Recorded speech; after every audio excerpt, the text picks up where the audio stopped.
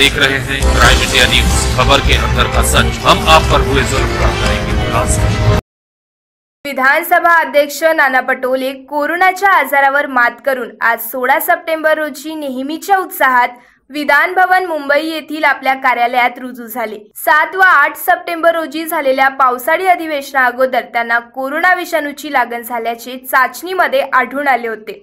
त्यामुळे त्यांनी मुंबईतील आपल्या निवासस्थानी स्वतःचे विलगीकरण करून उपचार घेतले. उपचारानंतर त्यांची corona R T P C R चाचणी नकारात्मक आल्यावर ते आज सोळा सप्टेंबर दोन हजार वीस ला लोकसेवेच्या कार्यात नेहमीच्या जोमाने आणि उत्साहात पुन्हा रुजू झाले.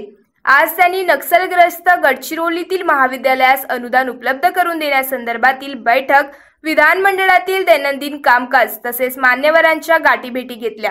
आपण लवकर बरे व्हावे यासाठी सदिच्छा व्यक्त करणाऱ्या सर्वांचे त्यांनी आभार मानले आहेत. बीएस क्राईम इंडिया न्यूजच्या रोजच्या ताज्या बातम्यांकरिता YouTube website Facebook Twitter Instagram वर व्हिडिओला लाईक कमेंट आणि शेअर करा. तसेच युट्यूब वर आमच्या बातम्या पाहण्याकरिता चॅनलला सबस्क्राईब करून बेल आयकन प्रेस करायला विसरू नका. सोबतच गुगल प्ले स्टोअर वरून B S crime India news ऍपला download करून रोजच्या ताज्या बातम्यांकरिता आमच्याशी जुळून राहा.